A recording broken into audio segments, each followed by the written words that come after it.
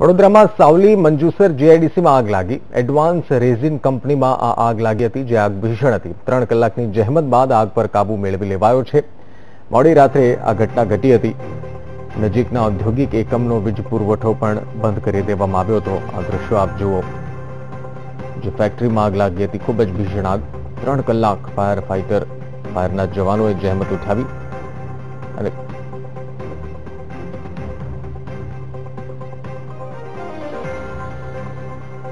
સંવાદદાતા અનિલ ભાટિયા અમારી સાથે ફોન પર જોડાયા છે. અનિલ, મોડી રાત્રે ફેક્ટરીમાં આગની ઘટના. હાલ શું સ્થિતિ છે? કેટલાનું નુકસાનની શક્યતાઓ છે?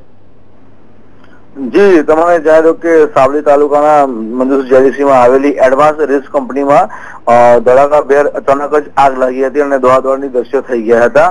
અને આગે એટલો વિકરાળ સ્વરૂપ ધારણ કર્યું હતું કે આજુબાજુના એકમોની લાઇટ પણ બંધ કરવામાં આવી હતી. અને હાલ જાણવા મળ્યું નથી કે કેટલું નુકસાન છે, પરંતુ આજુબાજુના એકમોને તાત્કાલિક ધોરણે બંધ કરવામાં આવ્યું હતું. એટલે નુકસાન તો હોઈ શકે એ શક્યતા છે જ. પણ હજુ સર્વે બાકી છે અને બીજી કે આ આટલી મોટી આગમાં એક પણ વ્યક્તિને કે દાઝવાનો કે કોઈ બી જાણહાની થઈ નથી, કે સદુપયોગથી કોઈ જાણહાની છે નહીં, પરંતુ નુકસાન મોટું હોય એ માની શકાય. જી. બિલકુલ. ધન્યવાદ જાણકારી માટે અનિલ.